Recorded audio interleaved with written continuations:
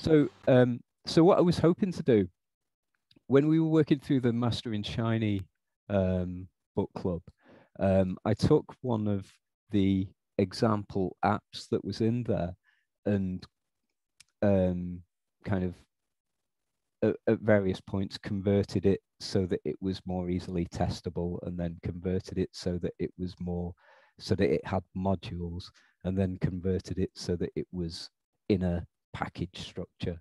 So what i was hoping to do and i've i've done it in a kind of trial run earlier on this morning was to convert it to Golem structure and tr- tr- try and follow the um,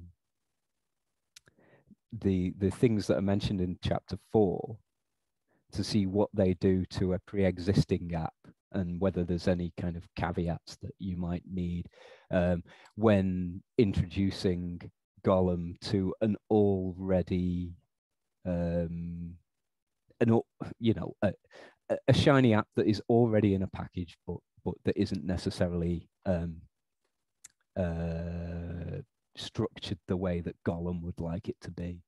Um, uh, because that's the kind of that that's my typical programming um, experience at the moment is to work with um, you know legacy apps. Um, and Golem itself you know it, it it's describing itself as a, a way to kind of um, a, a, way, a way to introduce a kind of consistent structure to an app so that if someone comes in and takes over from you, they will have a, a, a better, a clearer idea of what the different parts of your source code do. And also that you, you know, with that you get testing infrastructure and deployment infrastructure and things.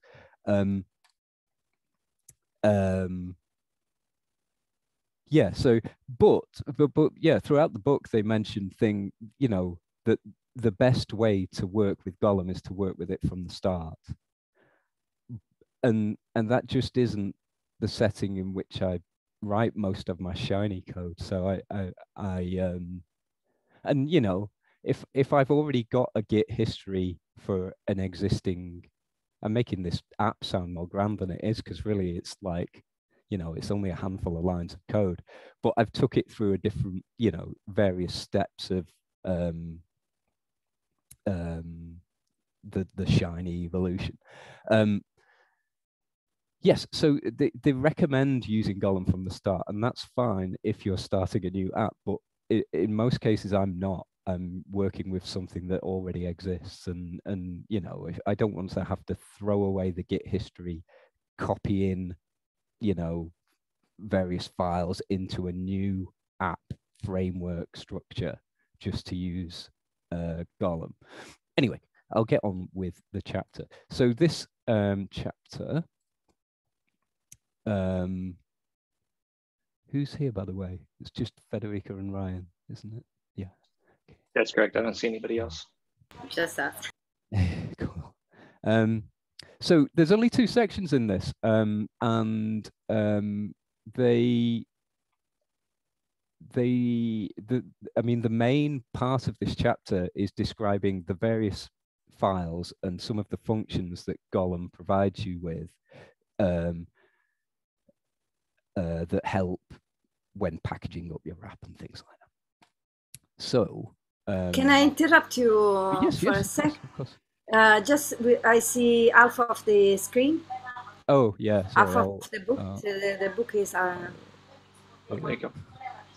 Great. Thank you. okay, is that fine? Um, right. Uh, so, what have we got here? What is Golem? Golem is a toolkit for simplifying the creation, development, and deployment of a Shiny application. That's a quote from in the book, and um, there's a link here to uh, sorry, my I've obviously made a mistake in the the hyperlinks there. But um, so this is the GitHub repository for Golem. The I mean thousands of commits. So this is a, a pretty established tool, and you know well documented. I mean, we're working through a, a book on it, so you don't get much more um, well documented than that in the open source world. Um, and what I wanted to pull apart was this this um, sentence because, um, I mean, how does that how does that description um, differ from, say, Shiny Dashboard, which is a package for simplifying the uh, development of dashboard style Shiny applications, from usethis, which is a package for um, you know helping you during the development um, stage for um, bringing a consistent test and file structure to your uh, packages and, and, and things like that. And to RS Connect, which is uh, an existing package for deployment of Shiny apps to either to shinyapps.io or to RStudio Connect, um, which are two of the main kind of, uh, I don't know what you'd say, corporate deployment platforms that RStudio have um, set up. Um, and I don't know. I think the the, the fundamental difference is that um, while these will provide you functions with which you can deploy your app, what Golem does is it kind of imposes a file structure upon you and it kind of um, veers you towards using modular code and um, and and you know placing your um, and and and and and kind of forces you into creating an app in a package structure and things like that in a way that these tools don't although you can readily create a, a, a package structured dashboard using shiny dashboard you can um, um, ensure that you've got a, a, a, kind of consistent file structure using usethis and you can deploy using rs connect um, would it would it be wise russ if you don't mind uh, would it be wise to state that maybe golem provides you the infrastructure of mm. of creating so instead of the shiny dashboard as being this focus of the presentation media or the ui uh, possibly usethis. I'm not familiar with that. I'll have to go research what that implies. But the RS Connect is the is the pointer that uh, uh, you route your Shiny app to like Shiny IO, correct? RS Connect is like your your I'd almost call it like a, a credential handler of mirroring what you have for deployment on your local machine to yeah. the web so that Shiny is a Shiny IO is able to present it hmm. uh, when yeah. triggered by the URL. So yeah. Golem is is providing the infrastructure of additional resources, like you had mentioned, the package development type thought process. Yeah, yeah, no, uh, I agree. I, I just thought it was an interesting contrast in, in, right. in terms of, you know, there are there are tools available to help with each of these steps. You know, there's um, tools that will help you build R packages and things. There are tools that will help you build Shiny apps of a particular style or that will help you handle the you know the javascript parts of your shiny apps and things like that what um, golem provides is a lot of the um, it, it it makes consistent a lot of the the, the kind of common tasks the um, you know um, where sorry i've listed them down here um, where should i put my JavaScript files and my CSS files? Where should I put um, where should I put and how should I name my modules and and, and things like that? Um, possibly yeah, a uh, poor, uh, possibly a poor example, but like let's talk about web development in general, right? Hmm. Because this is a shiny focus or, or shiny oriented web development focused uh, book. So you could use Dreamweaver if you chose to buy into Adobe and, and create a website uh, based on, on a Dreamweaver CMS, uh, you have other tech writing platforms that generate static web pages, et cetera. Or you could open up Microsoft Word and then save it or deploy it as an HTML file, right? All of them are doing common tasks, yeah. but it doesn't provide you the infrastructure to manage it in a global setting, right? Uh, I often uh, conflict with this argument from many users because they have Microsoft Windows computers. MS uh, Word is, is maybe a program they use. So they will often compare and say, well, okay, fine, I don't understand your Dreamweaver or I don't understand this other CMS type framework, uh, but I can build a website using Word. And I'm like, okay, fine. Yeah, I'm not going to argue with that comment. However, however, if you really want to ingest or comprehend exactly what the tools and widgets and JavaScript and everything else that goes along with web development, you're not going to you're not going to be able to access that in Word because it's already kind of in this what you see is what you get type format. And I, maybe I'm I'm probably uh, uh, boiling the ocean here, or maybe extending the topic a little further, but um, I'm trying to provide some maybe thought of what Golem would do in regard to these other three packages uh, that can do similar activities but may not be the right tool for the right job. Hmm. Yeah, yeah, yeah. Yeah, no, I, sorry, I was just bringing it up as a kind of discussion point, really, the the the, the kind yeah. of contrast between what Golem does and what um, the the kind of pre-existing tools do. Um, anyway, um, yes, so I think uh, considering we're working on this book, uh, we've got a good idea of what kind of what where Golem fits within the shiny development world. Um, so I think I, I might move on if that's okay. So there's um, an example in the next section of chapter four where uh, they generate a Golem app from scratch. Um, so this particular um, command, um, if you've got Golem installed locally, will create a package called Golex, which will, you know, it will create a new directory as a subdirectory of where, where you currently are in the file system. Um, and within that, it will add description and namespace, which are kind of typical entities within a package uh, structure uh, for, for R. An R subdirectory, which will contain three main files that house the the code that does the kind of broad view of of your app. You yourself will then define various you know modules and things that are pulled into say the server or the ui and and, and whatnot and and also you'll define various functions as well within there. Additionally there's a dev um, directory which contains uh, scripts that you will run when um, um, when loading your app locally, when um, kind of adding um,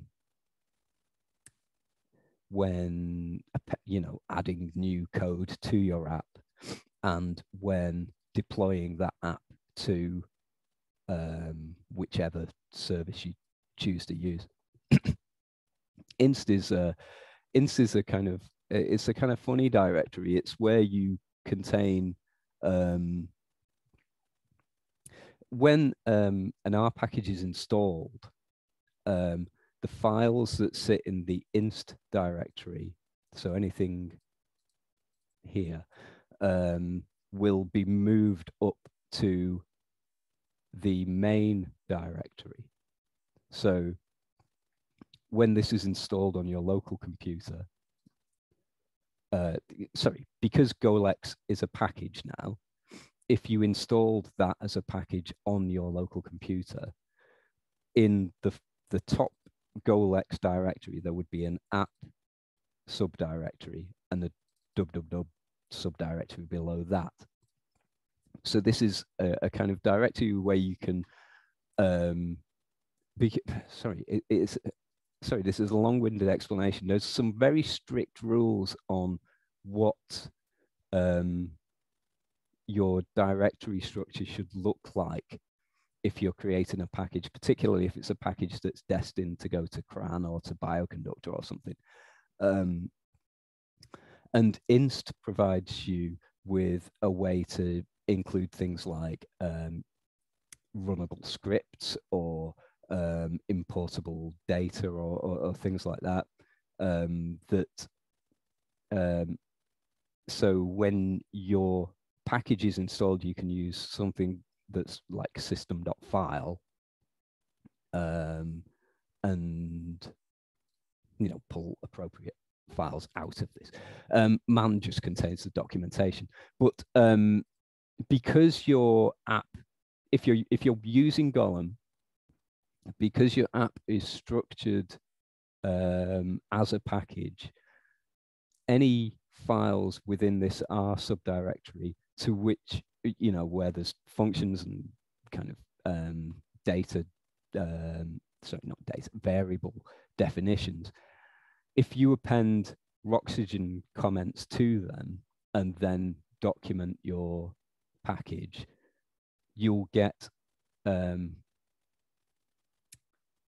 man pages formatted appropriately for you to use the kind of help function within R, um, which is, you know, another one of the kind of things that you get for free by packaging your app up as a, a kind of package. Um, so we talked about description and namespace last week, I think. Um, and um, so the description file contains things like, you know, uh, what does this particular package do? Who wrote it? What is the license for reuse of the code and things like that?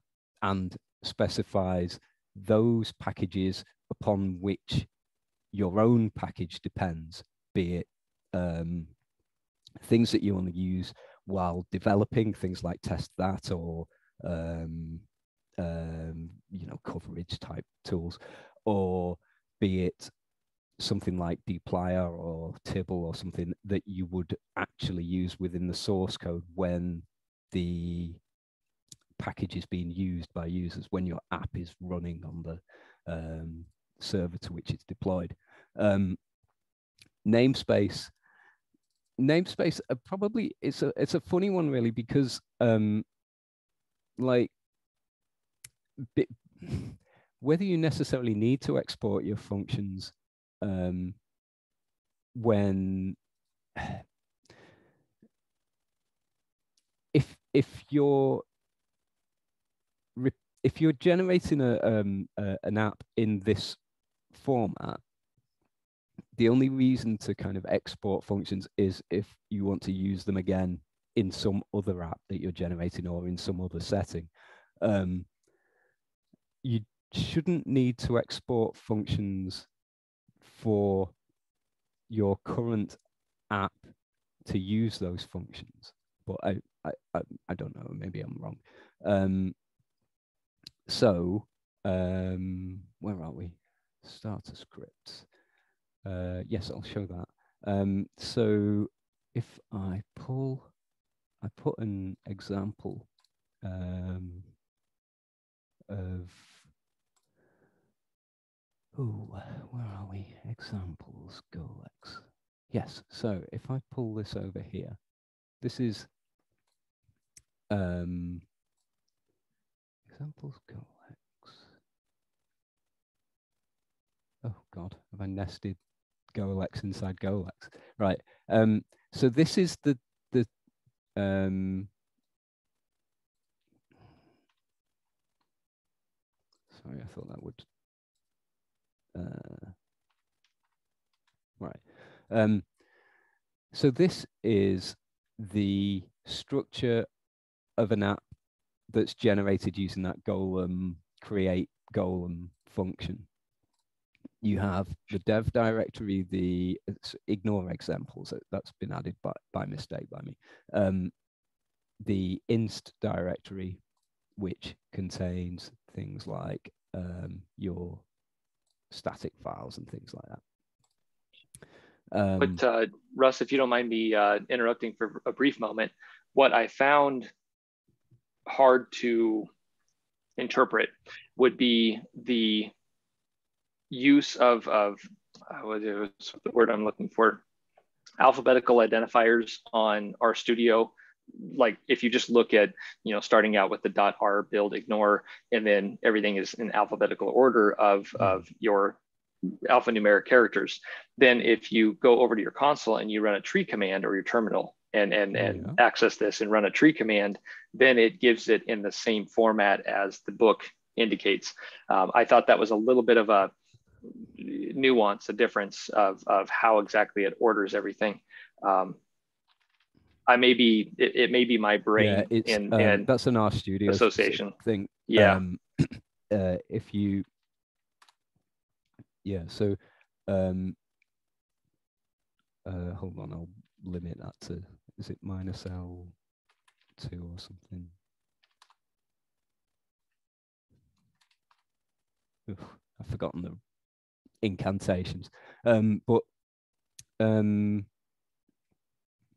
yeah uh, the um, the yeah so frequently you can have hidden files um, so some some files are, invisible in RStudio, even if you click um, to um, show hidden files. So sorry excuse me. If I had a um, I can't remember exactly. Maybe a GitLab CI or something like that, or maybe a, a, a .lintr config file or something in, into these kind of directory structures.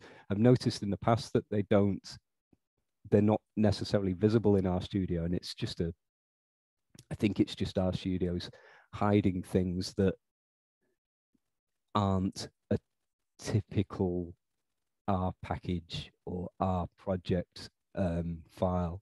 Um, but yeah, in if you if you look in the the use the command line tools to to view the structure of the app, it's as it stated in the book.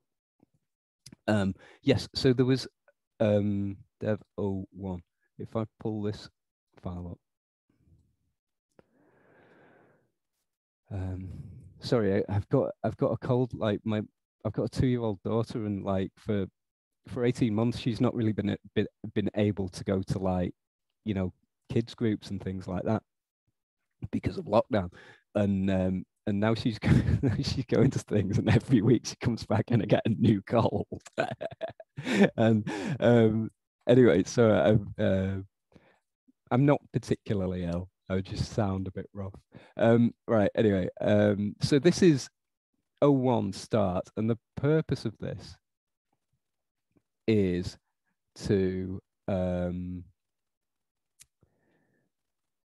okay so you can um, this it, so that these scripts contain various things that you um, you can, so you can run one of these scripts and it will update your app right so um, you have the name of the package and the kind of descriptive title of what that package is for. If we, um, so if I, um, where am I? So it would be at present in description, the title is an amazing shiny app. If I run this um,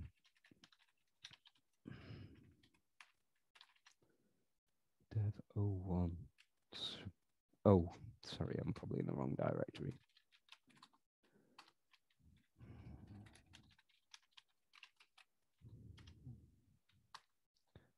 And this is the GoLex. Right. Sorry.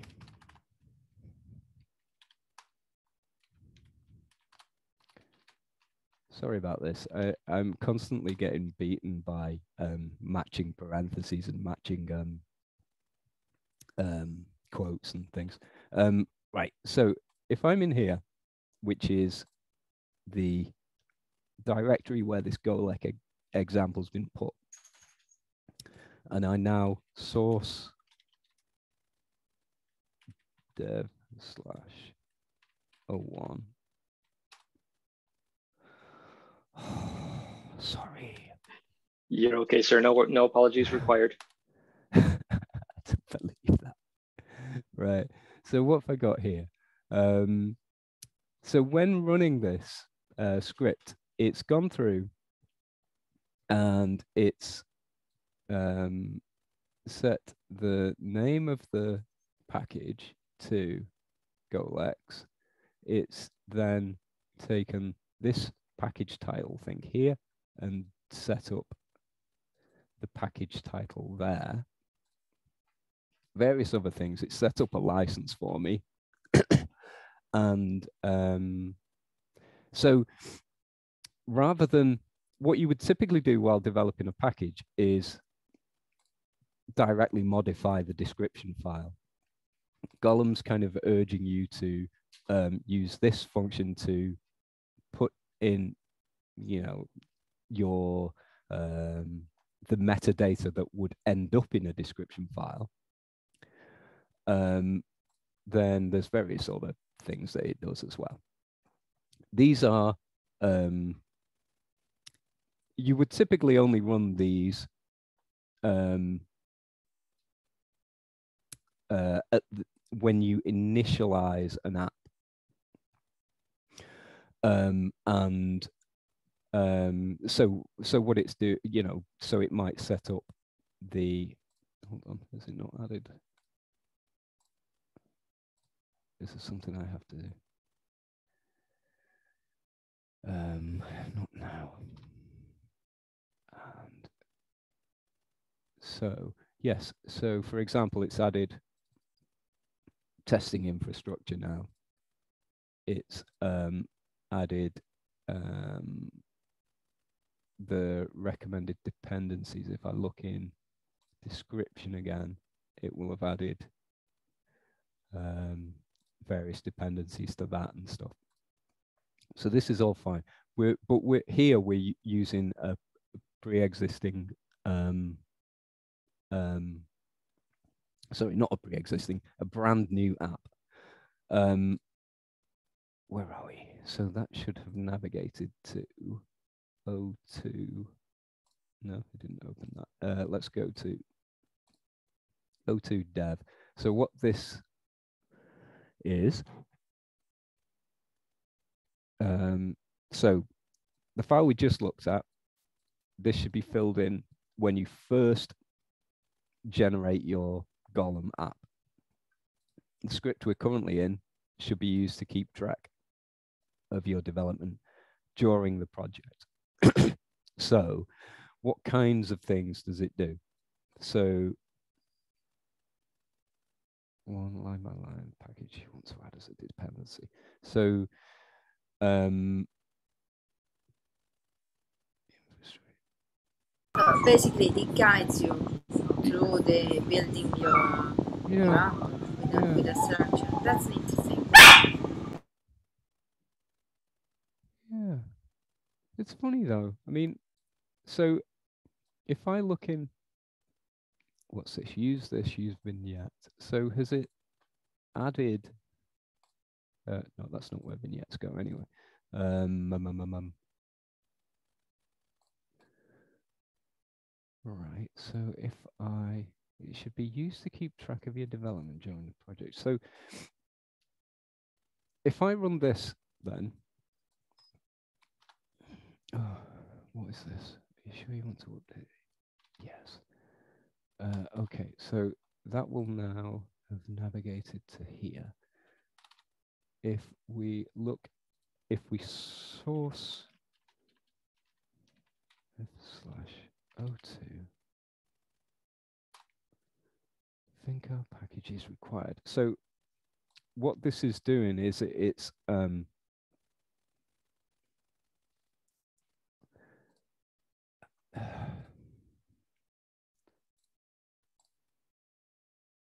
excuse me. Um, yeah, so it's just it it adds the dependencies. I mean, you would normally do this using I would normally do this at the command, uh, you know, at the R console to indicate that I wanted to use a particular package or whatever. Um, so the, it's it's like it's using uh, kind of templates to to get you up and running. I don't I don't know. I can't imagine I would use this script multiple times during the development of a, um, a an app.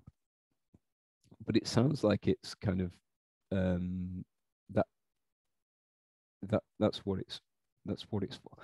Anyway, um, I like your then, comment template. The the the templating or or the I, I, was referring to it as the the uh, uh, underlying uh, meta infrastructure of your development environment. But mm. the the word template, when you evoke that call, it automatically uses the variables to populate other services. Yeah. Yeah. Um, uh, anyway, um, sorry, I went off on a complete tangent. So, um, yes, uh, so the, so between those scripts, there's various things to initialize your app, various kind of commands that you might use while developing your app, and then the final one is a um, a script for um, hmm, come on Oh, sorry, everything's everything's too slow. I, I shouldn't have tried to install anything. Um, hold on, uh, hold on. I can, I can, I can bring it up. Right. Oh, right. Okay. Um. Oh, sorry, I'm being wind up by a dog as well. Uh, here we are deploy, right? Um, so the deployment script, this is used um, when you deploy your app. So this is building the package into an installable entity. Um, this is um, adding the various files that you might use. So if you were deploying to shinyapps.io you might use this command. If you were deploying to RStudio Connect, you might use this file. If you were using, if you were deploying um, onto a server on which you've installed Shiny Server, you might. That's what I was going to. Yeah. So, so if you don't mind me interrupting, Russ. Yeah, yeah, yeah. What no, we're cool. what when we when we talk about this these lines 30 31 and 32 of your script golem add rs connect uh, RStudio connect file uh, add Shiny apps IO file, and then add Shiny server file. The word file, I guess, is the question I'm having. So I'm guessing we're populating this with maybe some namespace that is taking us to another script file or, or some other uh, uh, instruction that would provide that to us. Would it be, would you be able to maybe uh, extend into that topic. If not, I can do my own uh, discovery as well and maybe report back after. So, um, right. So what we got here? Add an app.r at the root of your package. So the the issue with the package structure is that all your code is well, you know, predominantly your your runnable code is written in the R subdirectory. If you're deploying onto shinyapps.io or RStudio Connect or something like that, you need an um, you need a script or some scripts at the top level of your um, repository. So that might be app.r or it might be UI and server.r or you know with an optional global .r file as well. Um, and it is those files that are ran um, when um, your app is initialized on shinyapps.io. Um, we can, um, so I, I'm not entirely certain what structure Shiny Server requires that's yeah and that's really the question i'm i'm really curious about and i don't want to be self-fulfilling either i yeah. i, I want to commit or uh, contribute to the community but if if right now the dev environment that i'm working off of i've got a a Linux server running, you know, uh, a LAMP stack with RStudio uh, currently deployed. And then on the other side of it, I also have a different port, but it's the it's the Shiny uh, apps server as well. So in this case, the comment I made a couple of sessions ago, I said, if I want to deploy a Shiny app that I have, okay, well, I can I can use the RStudio IO Connect uh, feature of, of RStudio and port it to Shiny Servers IO uh, user credentials, and then it'll, it'll automatically just capture everything that I need to deploy it on that server. If we are maintaining this in our own instance, and the third line is actually what I'm really, really focusing my attention on is, okay, now I'm giving the computer or the compiler instruction to say, I'm going to take it from this folder structure and I want to port it over to this other section of the same server, yeah. right?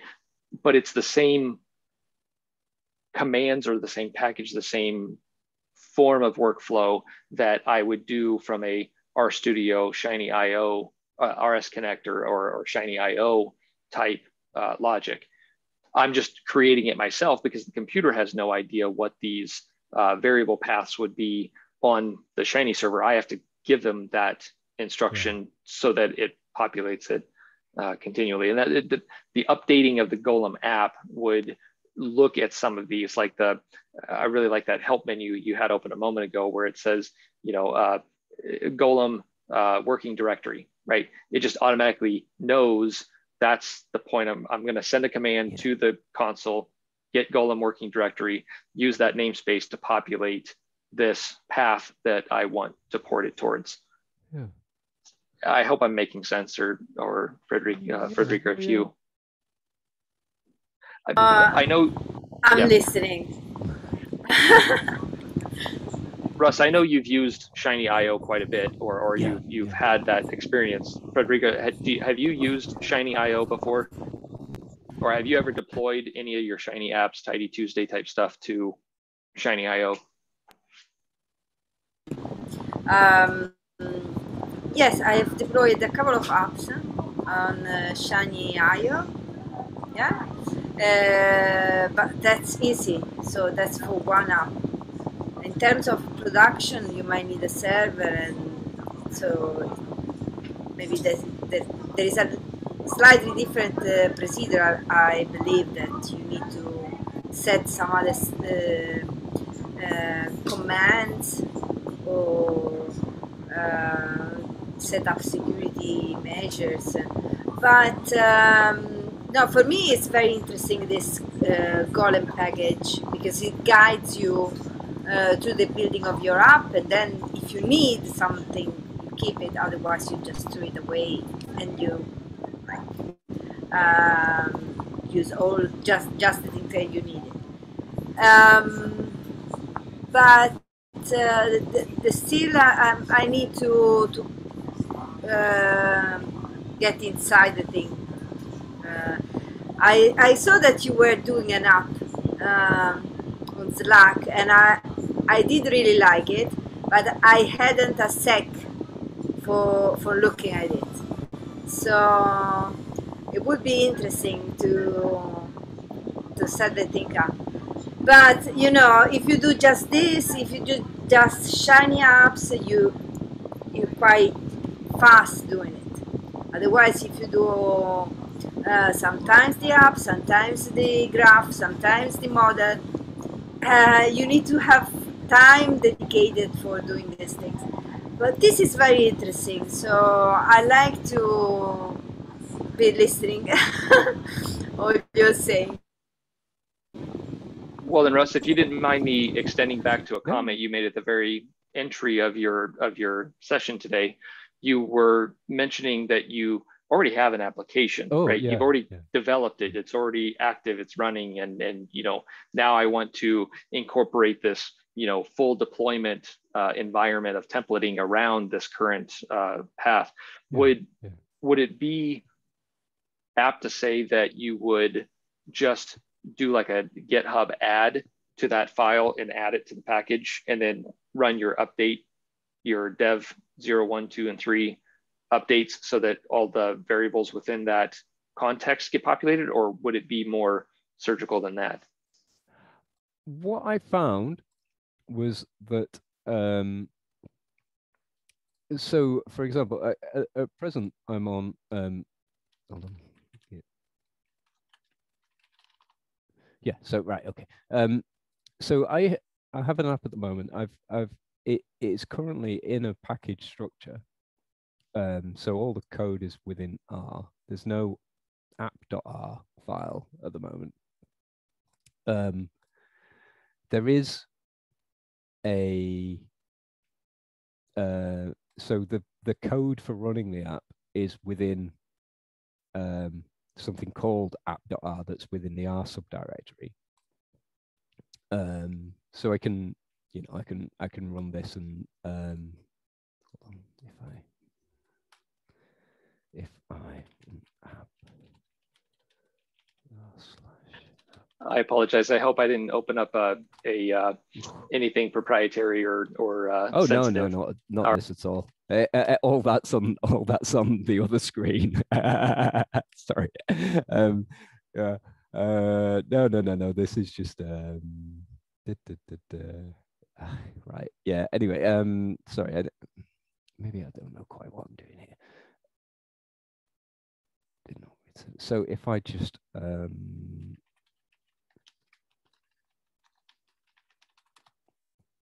and then I, sorry, I'd forgotten how to start this. Right, so this is an app within that's that's that was originally written up in Mastering Shiny. Um, so there's a little graph at the bottom, um, a few tables, so you can pick. Um, these are um, injuries that you know people presenting to emergency rooms with injuries caused by various um, household items, so sofas and whatnot.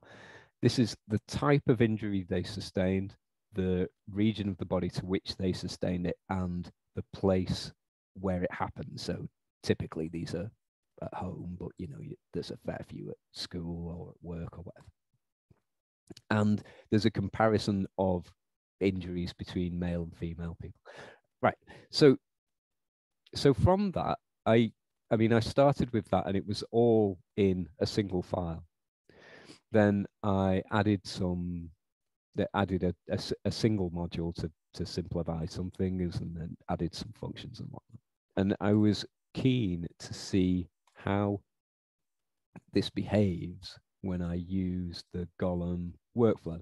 Now I know that this isn't the tip, this isn't the route that they recommend to do this kind of thing because you know they'd rather you were using Golem ab initio. Um, if we do create Golem, um, the path is the current working directory and the package name is er dot injuries dot. So if I open the help for um, I search for create golem um, So I'm just uh, specifying the package name because the name of the package isn't the same as the directory in which this package is contained because of various reasons. Um, so what that has done has told me, do, you, do you really want me to generate this app within that directory because that directory exists? And you know, I'm converting an existing app to a golemized app. So yes, I do want you to do that. Now, if we look, ooh, so we're restarting RStudio. What it's actually done, if I look in here, is in our build ignore, it's changed some of this. So some of the files that I'd put it, you know, put in there. So like my license file is no longer in our build ignore and and it's overwritten the various various things because when when Golem does this, it must just copy in a template of what a description file should look like, of what an R build ignore file should look like, and disregards what was already present in the directory. Um, so let's have a see if there's anything we can do to fix that. So there was this dev script where um, if I so this should be um, the title should be ER from blah blah blah. If I change that back to what it was,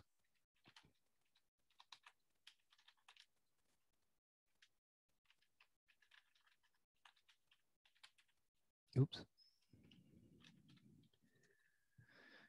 I think that's it. We'll just run that for now. Um, okay. Then if I source dev slash L1, that will um,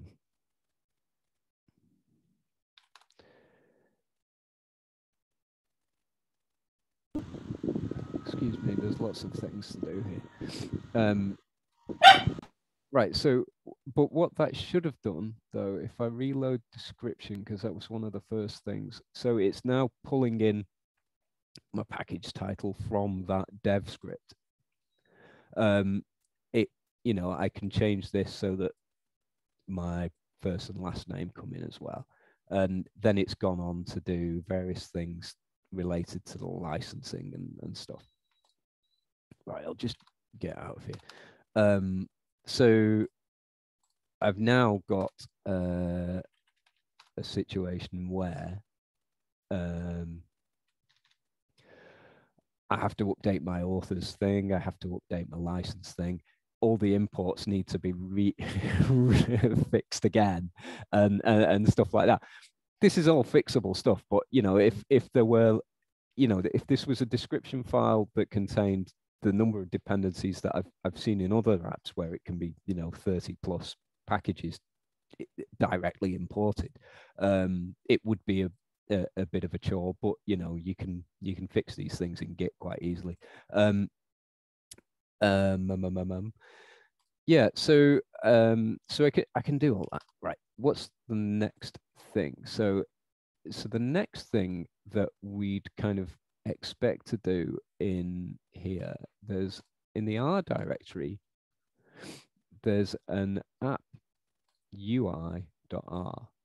And what you would do is put your UI code, which currently is in here. Um, I would copy that over into this function um, maybe including some of these things like Golem add external resources and, and things like that so that I can pull in CSS files and whatnot. Um, similarly, in the app server function, I would um, copy over my server function here. So this is pulling in a bunch of different data sets. Then, um, oh, sorry, that's the app. Um, where's the server? Oh, probably not. This is probably a bit complicated, actually. Um, anyway, were it a simpler app, what I would do is just copy out the the the, the code from the server function and put it in here. That in itself would be fine. And I'd be able to use the modules that I've predefined, the functions that I've already got in here. Um, but um, you would typically, um, so you would typically create modules using Golem's add modules, you would create functions using Golem's add, which it needs a few more nouns for me. Um, uh, sorry, not nouns, vowels. Um, if I, so mod count table. So if I convert that over to add modules, is it modules or module? Modules. Um, count tables. Oh, maybe I've misspelled. Um, add module. So what that's done, it has, which is the newer one. Is it this one? Yeah, so this has added, I my previous file was mod dash count tables, and this is mod underscore count tables.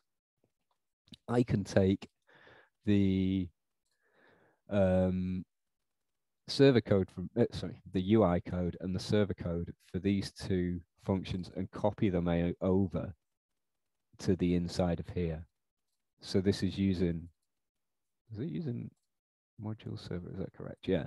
Um, so ap apart from the um, file names differing and the function names being slightly different, so this is mod underscore count table server, and my original was just count table server.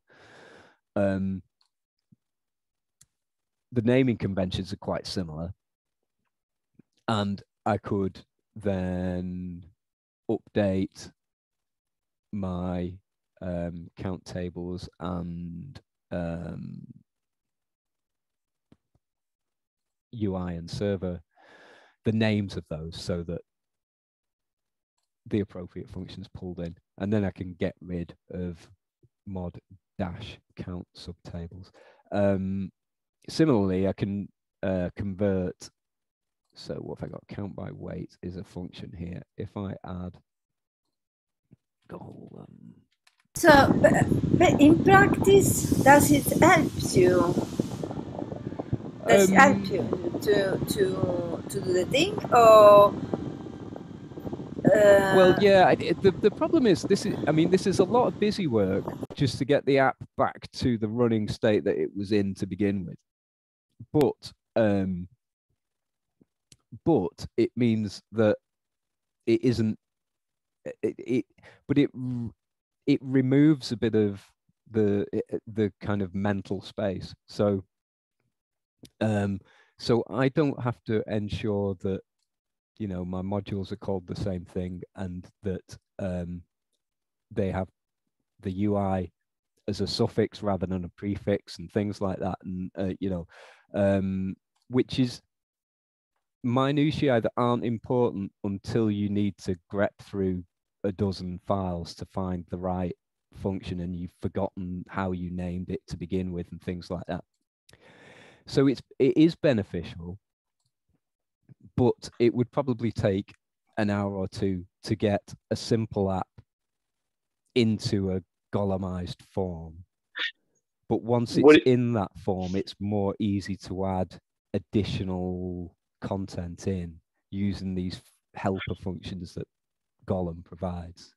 Maybe a really, really, really bad term to use would would containerizing be a way, or uh, this is not good English, but functionizing uh, your your your code base. So Frederica, what what you would do if you had multiple steps within your app UI or your server UI, now it becomes these smaller snippets of code base that now you're managing these smaller components in the larger global context of the app itself. Does that, am I stating that correct, Russ? Um, I don't know. I, I mean, Maybe it's not. not. like it's not like um, it introducing Golem into this app won't change the grand design of the app, the the software design of the app. It will change. It will mean that a few functions get renamed, and a few files get renamed, but the app will behave the same as it did. The modules will be the same as they were. They'll just have different names and things. Um, but what in introducing Golem will do in the long run is it will make it easier to add further um, functions and modules and whatnot. And it will make it easier to deploy this app um, because you know things like working out how to add that app.r file and how to ensure that your um, www directory gets pulled up from inst into the um, main repository directory and, and things like that when upon deployment. I mean, they're just you would be able to work out how to do it, but it, they're they're just nagging problems that you'd rather someone else had already kind of fixed. Um, so yeah, I, I can see why it is beneficial. Um, but yeah, uh, I can see my I can see myself as well because um, if you you have a, uh, if you start since the beginning, then you really use the the UI and the server as an engine of the app, and then you add files like with data and things that you sources in the UI and uh, from the UI or the server, and then you have all listed here I think you can uh, adjust it as, as long as you need it. That would be sorry about my dog. Let's go ahead. That would. I'm used to that. Yeah, I think that would be that would be uh, useful because you can add an uh, one another module yeah. with more features. Sorry about that. You have it there. So if you just need a to troubleshoot that, that bit, you find it easily instead of scanning the skimming the app and yeah, yeah. Cool. Yeah, I don't know. I mean, it, it it it does seem quite reasonable to to, to convert it. I mean, I know that my my app structure probably turned out that it wasn't straightforward to convert it, but um, I think it would be I think it would be a more pleasant experience to to develop using a golemized app based on what I've seen. But I mean, this was this was an app that I'd converted into a package, and I, I I'm still not overly keen on package structure, but uh, for you know the the additional um, work that uh, kind of implies. But um, yeah. at least up to this point in the book, it's the thought process of mass production, right? Mm, it's yeah, it's yeah. it's it's I don't know. You've built your your press. Now you're feeding it raw material, and it's putting out widget A, B, and C, right? So you're you're you're not you're not a craftsman building a a very unique one piece you know per 10 months of production now mm. i can mass produce something by just running a command line and, and letting the, the computer uh, uh, mm. uh, generate it out it would be a cost savings benefit and the, the thing that just keeps running in the back of my mind and I, I know i apologize if i'm maybe repeating myself but I think about the CI CD process, right? The DevOps type deployment of I've got a code base, I commit it to GitHub or GitLab, whichever version control you would like, if you have those CI/CD links or Docker container type links, your YAML file automatically calls on a Linux server and then populates it with your flavor of whatever special sauce you have. And then now you've got a production application uh, in the wild. By modifying the smallest piece, you may break other things. But because of this templating or this testing type sequence or, or command line type sequence, you can modify your one component of text, redeploy the app, this whole slew of, of things in the background get processed, and your web app is still up and running, or maybe the, the uh, disruption of the site not being available is minimized to the smallest degree. Does that, yeah. maybe I'm summing up everything, Russ, or yeah, Frederica, yeah. does that help? Right, cool. Sorry, I, I did hope to get into chapter five today. Um, but um, I don't think my throat would allow me to talk for much longer. Anyway, um, yes, um, but Um, yes, I, I, I, what I like about this is that if if someone came to you with a Golem app for you to work upon, it would it would already have you you wouldn't have to do anything extra to be able to run you know write some tests for that code to um, you wouldn't have to do a great deal extra to ensure that you could deploy that app. I can I can see where you're coming from there. Um, um, yeah, so I, I I don't know. I mean, I what I like what what I mean the whole thing with Shiny is like um, I can I can see the the benefits of things like this, and and also like I mean I did a bit of work in Django a year or two ago, and it, it, it from having no web experience. And what I quite liked about that was that that Django kind of forced you to put files in a pro, you know, in certain directories, and and and and you could readily have written a web app using Python, you know, just using the appropriate calls. But Django made kind of forced you to structure that app in a way that meant it would be easier to hand it off to someone else. And I think um, Golem performs the same role that Django does um, for you know for Python web apps. Although presumably there's a, a thousand and one different um, um, web frameworks for for Python as well. And but Golem does it for Shiny for which Shiny apps come in so many different structures. like, I mean, there the this use of the R directory. I, I was talking to a colleague about it today. It, it like, I mean, I knew about it because I only started learning Shiny a year or so ago, and um, and my colleague didn't know about this that you could put your function code and module code in in the R subdirectory and it will be automatically imported into your app when that's running. Um,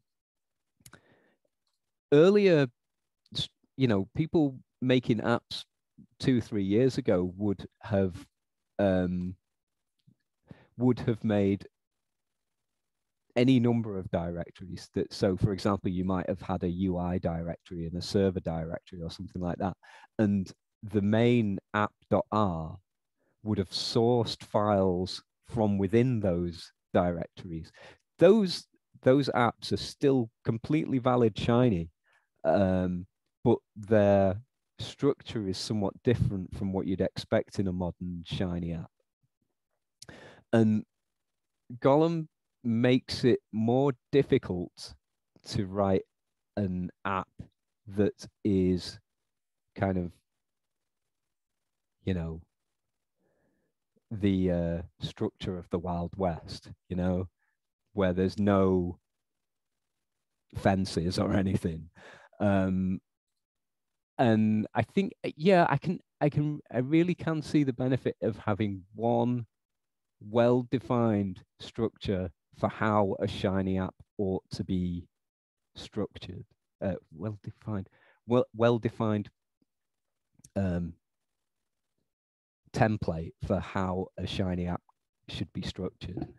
Um, and I think a, a lot of the Shiny world is migrating over to put in, you know, the bulk of their code in R and things, and and and things are starting to look more and more like packages. But um, yeah, Golem seems to kind of force you to do it, which is probably be- better in, in in some ways. Um, anyway, um, yes, I've I've talked for far too long. Um, sorry, I didn't get into chapter five, um, but uh, it's it it outlines um, five different steps that you would go through when um, when designing an app, or to to my mind, when designing a new thing that you want to add on to an app. Um, so you might so, sorry, I'm saying design and it's the first step. Um, when introducing a feature that you might want to add to an app, you might design both the look and the kind of software structure that you would use for that. Prototype a couple of ways that that feature could be introduced. Having prototyped, you might build um, a more robust version based on you know feedback on your prototypes, and then building tests and um, various other you know kind of um, um, and then deploy uh, the newly modified app. Obviously, this the these steps are also if you're building an app from the ground up, there are also you know these are probably much more important in that setting. Um, and the later part of the book covers each of those steps in more detail. There's also stuff about optimization and the use of kind of web front end languages and things, uh, which don't quite fit into this um, um, these this workflow. Um, but yeah, I'm not going to go through chapter five in much detail. What I will do is I'll put some notes related to chapter five into the um, book club um, uh, repo, and I'll try and start some discussion points off within the book club um, Slack channel. And I think next week we'll probably go on to chapter six, if that's cool. Because um, I mean, there is interesting stuff in chapter five, but um, I think it would it would be quite nice to have get some of the more um, the you know the people who can't attend the um, video meetings to uh, uh, just trying to work out how to um, what kind of content I need to add to the Slack channel to make them feel more um, part of the book club. Um, I think uh, one of the things that scared everyone with at least just I and Frederica as mm. the the group currently, but uh, the word engineering on the front of it. I think that may have, have probably immediately thought, ah, I'm not that person. But no, this is uh, uh, very rewarding to participate or to see the underlying infrastructure of how these tools are used and deployed, or sorry, used, and then mm-hmm. uh, to be able to, to deploy a, a uh, shareable, producible, reproducible app. Yeah, cool, cool. I, yeah. Right. Um, I can do a chapter um, okay, cool. in the in the next um, weeks. I don't know if the next one or the, the following is, is the same.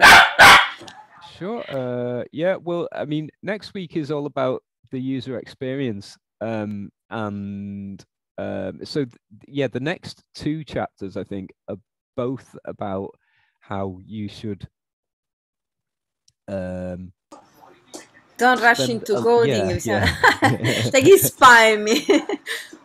yeah, uh, if you'd like to do a talk next week, or you'd like to do a talk the following week, maybe about the the prototyping um, sections, that that would be good as well.